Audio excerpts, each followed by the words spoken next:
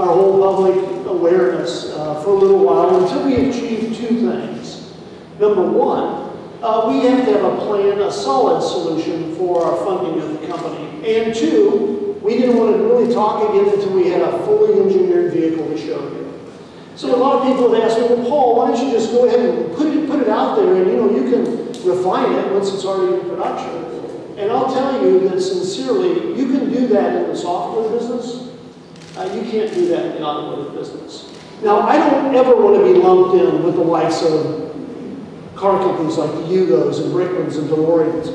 So, yes, we are behind our projected launch timing and, and our production plans. We're behind. Because it is the first design intent Aptera 2E. It's the first vehicle we've, we've built that was built to customer level, customer driven vehicle level targets. Okay, what is a customer driven vehicle level target? Through clinics and other means, we measure what the customers are interested in. Then we correctly position our vehicle in the marketplace. 2E also has half of the emission profile of a Toyota Prius, and when you drive it, less than two cents a mile.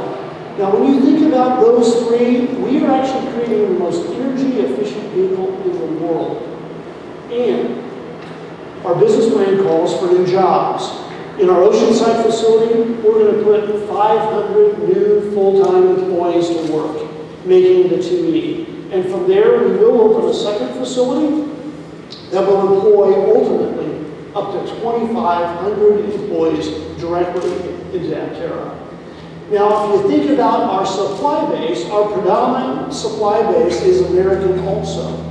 And if you think about the far-reaching effects of that on our economy, Aptera will create another 10,000 indirect jobs.